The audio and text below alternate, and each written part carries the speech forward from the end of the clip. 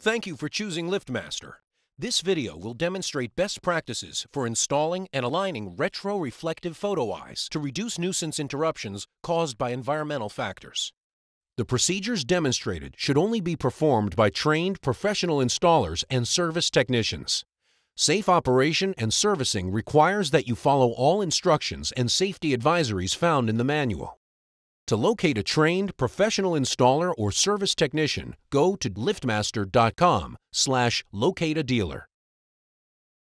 The LMRRUL kit includes a sensor with hood, mounting brackets for the sensor, a reflector with hood, a mounting bracket for the reflector, a wire cover plate, and hardware. The new mounting hardware helps you easily adjust the position and angle of the photoelectric sensor this makes aligning the sensor easier than ever.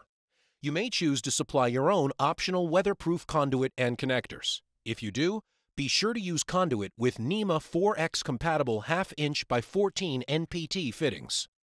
Here are some of the best practices for preparing your installation.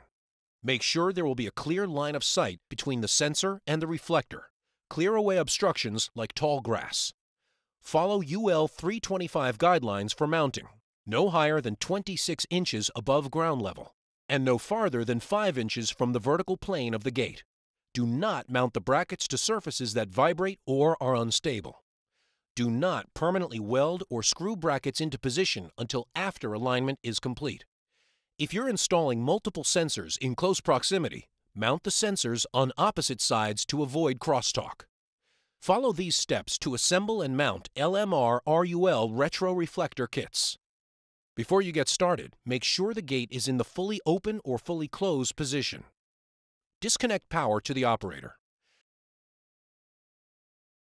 If the operator has battery backup, be sure to disconnect the battery power source by unplugging the wire harness from J15. The sensor and the reflector must be mounted vertically. Also, be sure to mount both out of the way of moving parts of the gate and traffic. Choose the mounting location where the sensor LMRRUL will be installed. Again, the sensor must be mounted no higher than 26 inches above the ground. We'll mount the bracket at 19 inches, well below the maximum height. The LMRRUL kit includes hardware for mounting, but you may choose to use your own. Attach the mounting bracket to the post with the word UP facing up. Use the provided hardware or hardware you've supplied.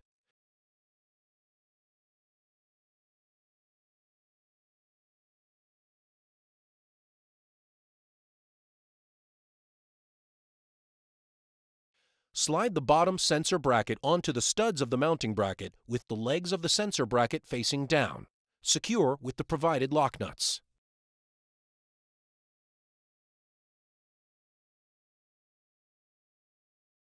Loosely attach the top sensor bracket with the slots facing up. Use the provided screws.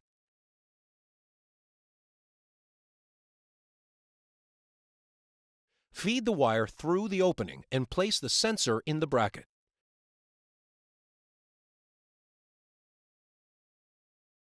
Tighten the screws just enough to allow the sensor to rotate inside the bracket. If you choose to use conduit, feed the wire through the conduit and attach the conduit to the bottom of the sensor.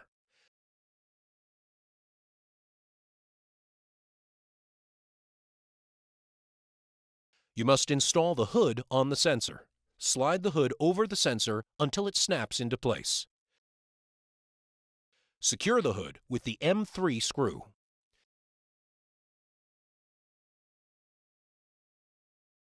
Next, choose the position for the reflector. It needs to be a minimum of 3 feet and maximum of 50 feet away from the sensor. The reflector needs to be mounted at approximately the same height as the sensor. Measure to the top of the sensor and then use that height when you measure and mark where to position the top of the reflector. Mount the reflector bracket to the post.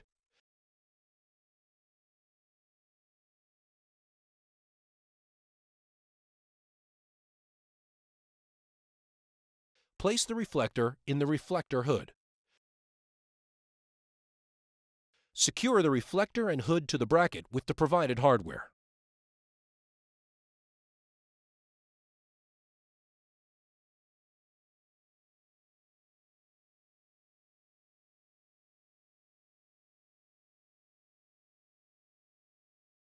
Secure the bottom of the reflector to the hood using the provided hardware.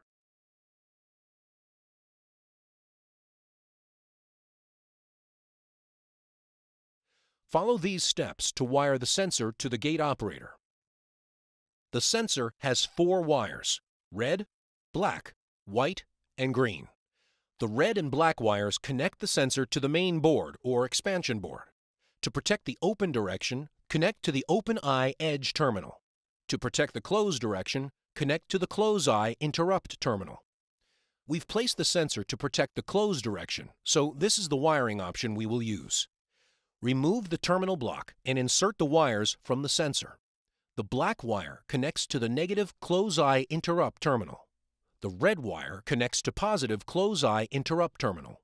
Secure the wires in the connector using a small screwdriver. Plug the terminal block back onto the board. The green and white wires power the internal heater. You may connect up to two sensor heaters to the accessory power connectors on the control board. Each heater draws 170 milliamps on 12 volt systems and 85 milliamps on 24 volt systems.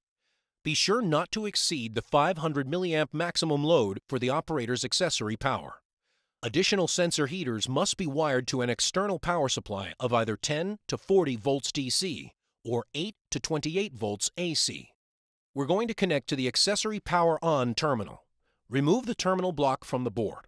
Insert the white wire into one hole and the green wire into the other hole on the connector. Polarity is not important. Secure the wires in the connector using a small screwdriver. Plug the terminal block back onto the board. Use of the heater is not recommended for solar applications. Now, let's align the sensor. Reconnect power to the operator.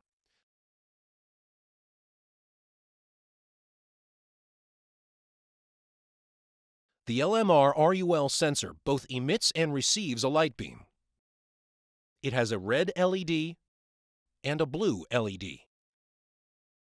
The red LED indicates a misaligned or blocked sensor. The blue LED indicates signal strength. Slow blinking indicates weak signal. Fast blinking indicates stronger signal. Solid blue LED indicates optimal alignment. Adjust the position of the sensor until the LED is solid blue. When the sensor is optimally aligned, disconnect power to the operator again so you can safely complete the installation.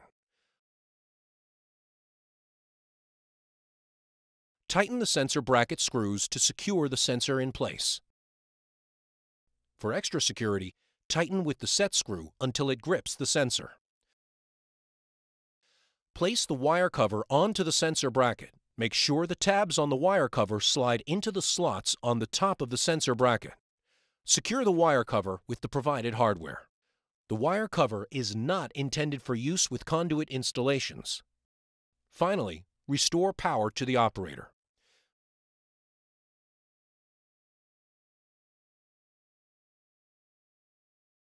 It is strongly recommended that you test the gate operator to ensure that vibrations and gate movement do not cause changes in alignment.